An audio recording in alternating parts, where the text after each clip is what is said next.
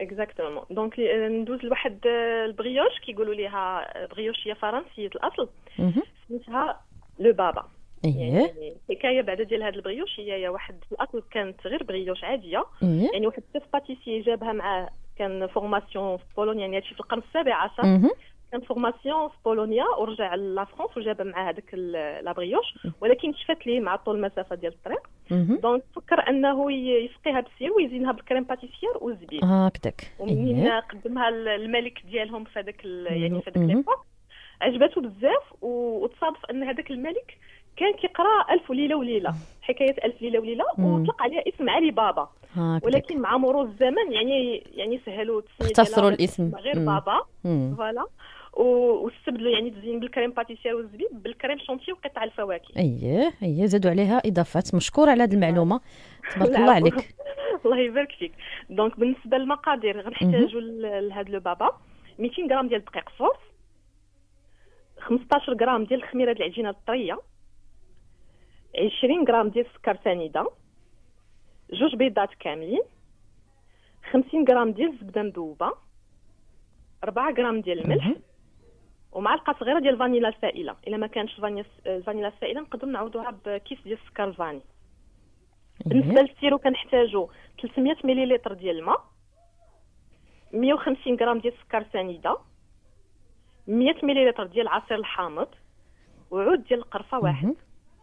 بالنسبة للتزيين باش غندهنوا هاد ال brioche le baba آه، يا إما ندهنوها ب 100 غرام ديال ال confiture ديال المشماش السائل أو لا غير بال nappage. اييه وغادي نزينوها كذلك بالكريمة ديال الشونتي يعني نحتاجوا البواطه ديال القشطة الطرية بواطة واحدة ومعلقة صغيرة ديال الفانيلا السائله مهم. 30 غرام ديال السكر glacé و- وشوية ديال الفواكه على حسب المتوفر اللي عندنا يا إما ال fraise الكيوي التفاح. يعني نخلطوا اللي عندنا موجود نستعملوا ماشي نخدموا بيه اييه alors بالنسبة للطريقة ديال العجن كنحطوا donc الدقيق اللي هو 200 غرام ديال الدقيق و15 غرام ديال ديال الخبز و20 غرام ديال السنيدة و4 غرام ديال الملح والمعلقة الصغيرة ديال الفانيلا السائلة في الإناء ديال الروبو. واذا ما كانش عندنا الروبو نقدروا غير في إناء عادي نستعملوا ال spatule ديال الخشب ونبداو نخلطوا بها هاد المقادير وكنزيدوا البيض وحدة بوحدة. ونعجنوها donc مزيان هي راه كتكون خفيفة بزاف. كان عندنا الروبو غادي يعني غادي غادي يسهل علينا المأمورية نعجنوها بداك la feuille plate الخاصة بال brioche ما كانش عندنا راه غادي نكملوا العجين بإيدينا. واخا تلصقنا في إيدينا ماشي مشكل. donc غير une fois تنسجم المقادير. نزيدو في الآخر الزبده مذوبة. 50 غرام ديال الزبدة.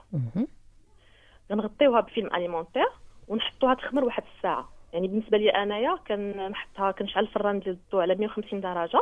يسخن شي شوية وكنطفيه وكنغلف هذاك الإناء اللي فيه العجين ب film alimentaire وبشي منديل مهم. نقي وكنخليها في الفران. يعني دغيا كتخمر ليا. اييه واخا. من بعد ما كتخمر كن كندلكوها شوية كنحيدو منها هذاك le gaz. هو؟ إلا. كانت عندنا une poche à douille ديال البلاستيك يعني jetable من الحجم الكبير نكبو فيها هذاك العجينة ديالنا. تخرجيها في داك الجيب حلواني يعني داك اللي اييه ديال يعني البلاستيك ما العادي ما نديروش la douille ما. نديروش داك ديال ال inox غير نقطعوها على تقريبا يعني القطر 3 سنتيم. ديال la poche ونخرجوها مباشرة.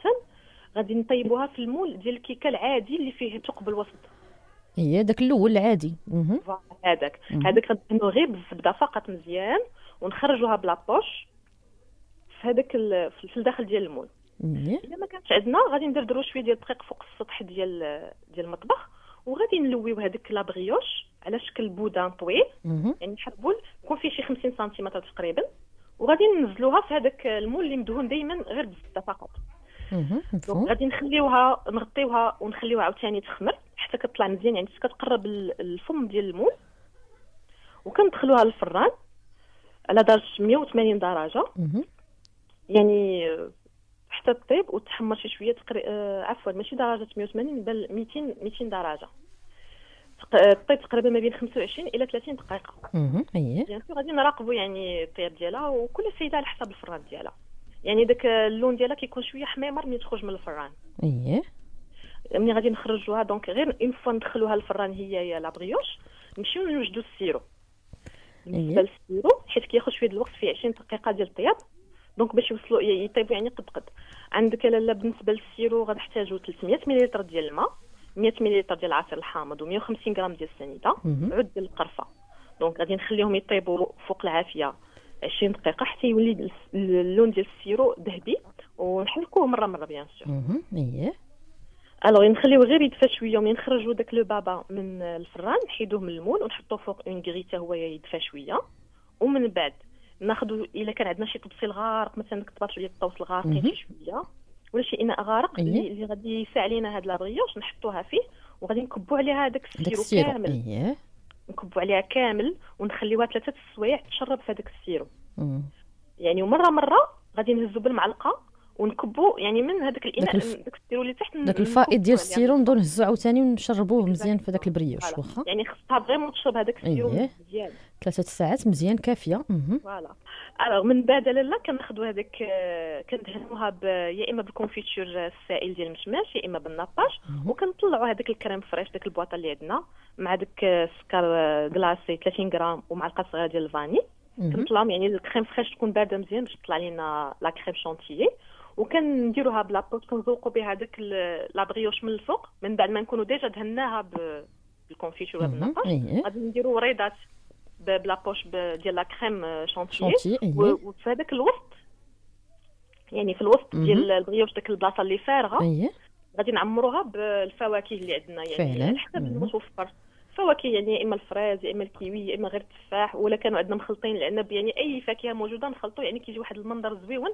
وفي ال... وبالنسبة لديك la crème chantilly مين بوشيوها فوق ال- la brioche نحكوا غير شي شوية ديال القشور الحامض. إيه. يعني غير هكا حتى بساط اييه تجي منعشه هكا بهذا الشكل. مع الفواكه. فعلا.